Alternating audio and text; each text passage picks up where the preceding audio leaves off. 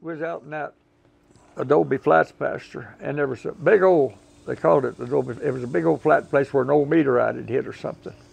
It was real flat. And then it come up, there's sand hills back each way.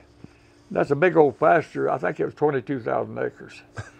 And right in the middle of this, This they split them big pastures. And, we uh, talking about this morning. there, this water hole was basically a little on one side, but mostly right in the middle. But everybody, we was gathering and bringing to this water hole down there at that Adobe Flats. And uh, people coming in from every direction down in all that old berm there, probably 100 foot high, that went down into this thing, and then it was real flat in the bottom. There was people throwing cattle in from about every direction there, getting them. And there was a little old antelope down there in the bottom.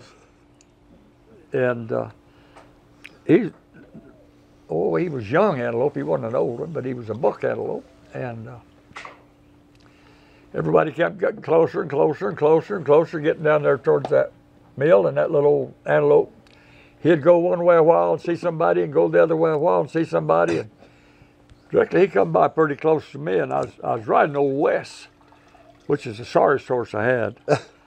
but anyways, uh, That's good. I couldn't resist it. I made a run at that son of a gun. Why, he outrun me like I was sitting still. oh, shoot. Well, I pulled up, and that antelope went around a little further. And pretty soon, old Jim Jones made a uh, run at him and kind of turned him a little bit. And then pretty soon, old Darrell McPherson made a run at him. And here he come back, just right close to me, just wide open. Man, I just over and under old Wes just as hard as I could. And I I rushed out there just as far as I could reach. Airmailed And that loop was just closing up and it got him and pulled his forelegs back in his flanks. And I had his forelegs back in his flanks and with one hand trying to gather the slack up. And old Wes got over on that side with his ass to him. And I was trying to hold him down. And he was, I had his ass end up and his fore end down. And I fell off my horse right off on top of him. And that danged horse kicked at me when I went off and split my ear. And there's just blood everywhere. Of course, it didn't hurt, it just a little split. But I stayed on that antelope. And I'd get him down in the front and he'd get up behind. And I'd get him down in the front and he'd get up behind. Directly, old uh, Darrell McPherson got over there, sat on his ass end, and I got his front end down.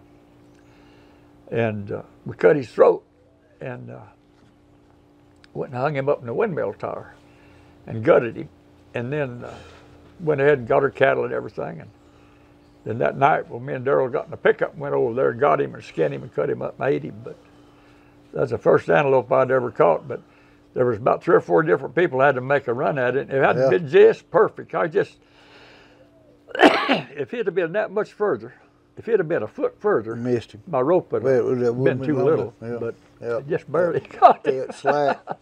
But uh, my shirt was almost tore off. He had he had ripped the. My shirt was just tore off. It was just rags. Has that Rick- antelope made any count? I ain't never eaten none of it. I've eat, I've eat elk and buffalo and If you're hungry, it's edible. and- It's edible if you're hungry. yeah, well that's true. Anything, you know, it's really good. Depends on how hungry That's you are. exactly right. It's really good if you're hungry. Light, That's right. If you're not very hungry, it ain't very good. It's just that's the way it is. All right. But the whitetail's the best out of the whitetail, mule deer, all that. The whitetail's the best. I like that elk. Meat pretty good. Elk is the best meat I ever eat. Yeah, Besides beef, I like Me elk too. meat. Tell me, Oh, the wolves. well, about how to get one horseback. Oh, well, Grandpa like, uh, they had quite a few Lobo wolves back in then, and them old wolves that he, he had, uh, they had to have heck with them pulling yearlings down and calves down, killing them. And uh, an old female wolf, she'd have a, a den someplace, and she'd always go three or four miles to kill something. And then she'd fill up and bring it back and regurgitate for the puppies. That's right. But she never would attract any attention right around her den, you know. But That's right. but anyways, Grandpa said you'd see one of these old wolves out out in the flat. He says, "Don't never break into a lope. or he'll outrun you. But he said, uh, just get the longest trot you got. Just stay on that longest trot. Don't let your horse break into a lope. And you just stay with him. He says, after a mile or two, he says, you jerk your water up and of your rope good and tight. And he said, just stay after him. He said, in about four, four and a half miles, well, he'll start slowing down, slowing down, slowing down. Finally, he'll just run plumb out of gas. Yeah. And you jerk your water floaters up and the end of your rope, then put a half hitch over him. And he said, you can crack him on the head and kill him and get off and bash his head in. They kill him that way. But See- I've trapped, uh, I've trapped three of them boogers. That's before there's supposed to be any wolves there. to see the game Uh, department. uh, now this is a story. You need. I mean, They- if you want to tell it on tape, Henry, I want you to tell this The story. game department turned them loose on the public, but didn't tell any about it. And you'd hear about it in different parts of the country. You know, a wolf, Yeah. and but they didn't tell the public about it anymore. They tell you about it, and if the wolf kills something, they'll pay you for it. You can't kill that wolf. But I was on that LE, and uh, I went over to the. I was riding on the south pasture, and I found this yearling out there, and one hind leg was eaten plumb off, and part of his guts was pulled out there, and he was trying to get up. He was still alive. And Grandpa told me, he said, that's the way a wolf will do. He won't kill it. He'll, he wants to keep it alive as long as he can because it stays fresher. Yeah. He likes fresh meat better than rotten meat. Then he'll come back the next day and eat on it, and the next day eat on it till it spoils. But anyways, uh, I seen these two big old tracks back in there, and I told Sneed, I said, Ray Sneed, the boss, I said, we got some big old dogs or wolves or something over there. I, s- I told him about that yearling and told him we'd found another calf or two that didn't know what killed them. And but this is third or fourth carcass we'd found, and this is still alive. And I asked him if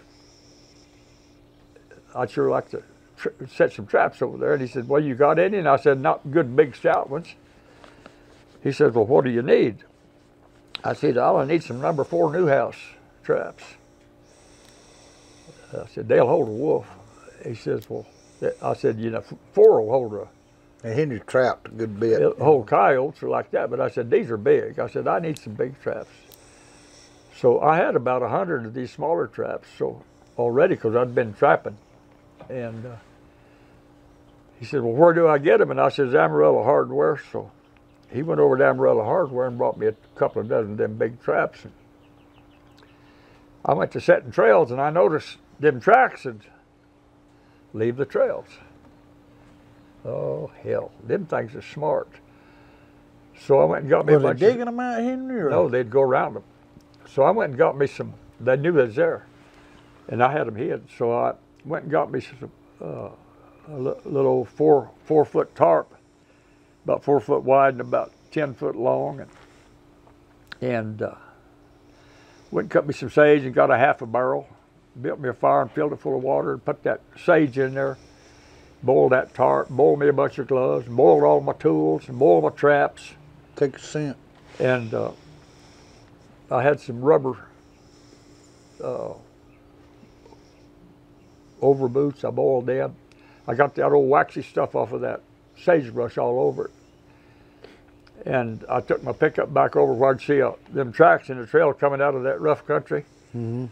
And I'd pull the pickup up on the downwind side. Always keep my pickup on the downwind side of the trail because the wind's always coming out of this way. And I'd throw my tarp out to that trail, take all my tools out there, and I'd dig me a hole out in that trail and put all my dirt back on that tarp and and bed my trap down in there and drive a stake and stake it. Put my little cover over the pan and cover it all up and switch it around good.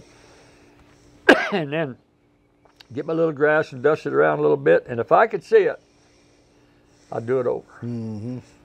Because if I could see it, he Hey, could damn sure. That's right. and I'd fix that thing to where you could not see it.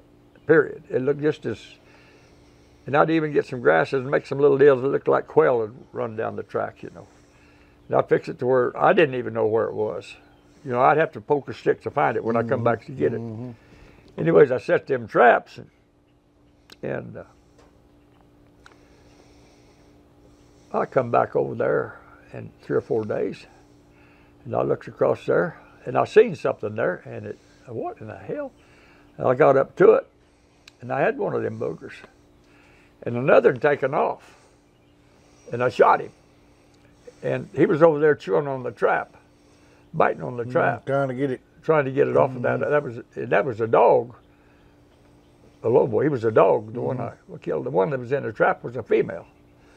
Trying to get her So, out. so I went up there and shot her. And this was in the summertime. The fur weren't no good, but I got him out of the trap, and uh, I took him and skinned him. And I had to build some big long stretchers because the cow stretchers Plains wouldn't would- hold yeah. them. Heck, they'd weigh Yeah. like 90 or 100 pounds. That, big one wouldn't. That other one weighed about 75 or 80. You know, a little 25, 30 pound coyote. Yeah, ain't gonna do. But anyways, uh, that that fall, that winter, well, our neighbor called and said, "I got that other one." I said, "Well, how the heck did you do that?" Well, he said, "I went over to check water and cut ice, and I seen this irrigation pipe moving." And he said there wasn't no wind. And he said, I kept watching, and I get a little closer, and that irrigation pipe had moved. irrigation. So he said, he worked for uh, Nix and Keyhole over there at Texline. The guy I worked for, he had cattle over there. And got over there, and this other run his head in that irrigation pipe, eight inch irrigation pipe, after a rabbit. And it had one of them old rubber flanges. It got hard, Yeah. and it sucked up behind his ear, and he had his in the stanchion. Yeah. And he was out cutting i- uh, ice, so he just chopped his head off right there. And that was the end of that. We never lost no more cattle out of them things. And I wound up on my other traps, I set traps all over that ranch. I think I caught 78 coyotes and uh, them two wolves. And that one wolf would slip so bad, it was in the summer and the hair wasn't much good, that I didn't even sit it. But I sent that one with my cousin when he went, him and Everett Jackson and Sonny Smith went to Fort uh, Lyons, Kansas, uh, Fort Fort Lew- Lewis or something, something Yeah. Lewis, to the Missouri, to the fur auction. And the fur wasn't prime; it was in the summer, but it sold as one wolf, and I got seventy-eight dollars for it. I'm sure proud of that seventy-eight dollars. That's right. That's right. And then I trapped, I trapped uh, one wolf in Union County, New Mexico. That one, the game and fish. Oh, on that game and fish, they, they was after me for killing cougars. Oh, that's right. Big cat. That's right. And the deal was, uh, people was losing cattle. yeah, they would. Mhm. And uh, I know altogether, uh, me and Papa, we lost 13 head. And and Bud wasn't- Layton, there Bud wasn't Layton supposed lost to be no cats in there. Bud Layton lost three or four colts, and Joe Mayfield lost eight. Uncle Everett lost something like ten or twelve. So they got the these ranches are half in Colorado and half in New Mexico. So they got the Colorado Game Department to come down there, and they run their dogs around and tore fences down and left gates open and mixed the cattle up and just raised hell, and said there ain't no cougars in here. You guys are just trying to blame it on us that, that- that's a figment of your imagination. So they got the New Mexico game department. Well, they pulled the same stuff. They run all over that country, and they ain't nothing here. So they asked me if I'd. I said I'll, I'll get rid of them if you guys will pay me. They said we'll pay you if you'll get rid of them. So I got me some traps. This is the ranchers now. Huh? This is the ranchers that told you that. That The ranchers hired me, Yeah, that's what I'm talking and about. they paid me. Yeah. And I set traps and hung snares and put out poison.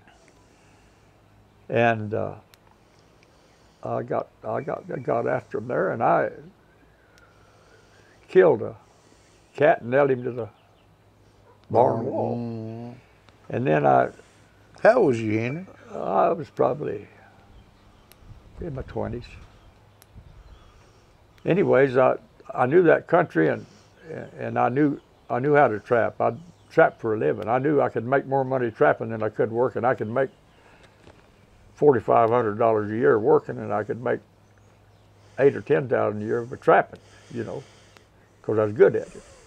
But anyways, I the game department got into it, and they was going to arrest me because there was a have to have a license to kill a cat. They was going to take my furs away from me and take me to jail. And Papa more or less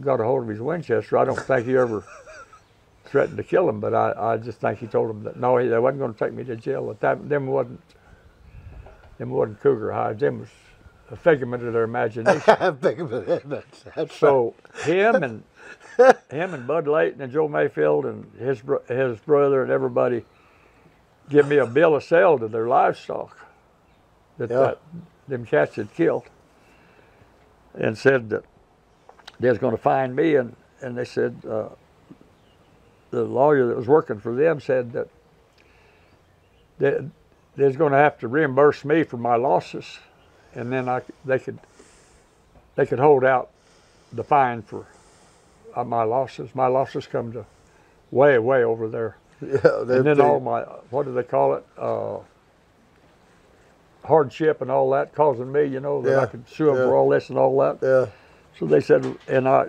I got nine bears. Some of the, this one old bear was killing baby calves, and uh, he'd lay around the heifer pasture, and he wouldn't eat nothing but a calf just a day or two old. I finally, I trapped three bears, and I finally, got, oh, I shot, I shot two and trapped three. I guess it's five bears. But anyways, I got this old bear that was just about as wide as your hand, and real poor and mangy, and just had one tusk and his muzzle was all gray and one eye was milky and just about as wide as your hand and he was starving to death. Mm-hmm. But he could still catch a baby calf and kill it and that's what he was living on. And when i got rid of him they didn't lose no more baby calves so he's the one that was doing it. Mm-hmm. But we had to we had to just keep all that quiet because if the game department had found out about it they'd have sent me to penitentiary. So mm-hmm. there's a lot of it we couldn't say nothing about. And then some of these some of these calves that was disappearing was uh, two-legged critters. I can't say nothing about that, but they stopped killing. They stopped stealing kids.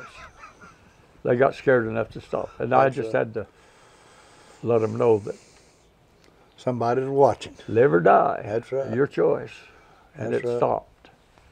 And but that I don't need to get into that, and I don't want to talk no, about that. No, especially on videotape. And, uh, anyway, that was basically the.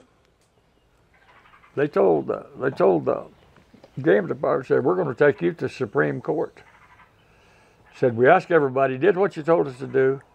You tell us there ain't nothing happening, and this boy gets rid of her problem, and now you're going to send him to penitentiary. And they Yeah. said no, you ain't. You ain't going to touch him. And we paid him to do this. We hired him to do this. And if you guys had have been doing your job, you should have done it. Yeah. So they they decided just to, we don't want to hear no more about it. We don't want no publicity about it in other papers. We want it to just kept quiet and just let it go away. And if it ever happens again, let us know, and we will take care of it. But they couldn't do nothing to me. And I was scared I was going to go to penitentiary. I was scared to death because I had I had two or three little kids, you know, Yeah, yeah. trying to raise up.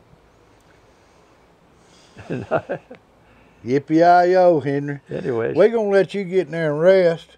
Yeah. But I tell you, Henry, if if it's all right, we'll come back and and maybe you just be thinking about uh, the horse training end of it. You Oh. know, how y'all took them some of them old Willard tails, them Mustangs, and went on with them and made horses out of them and this and Well, that and whatever.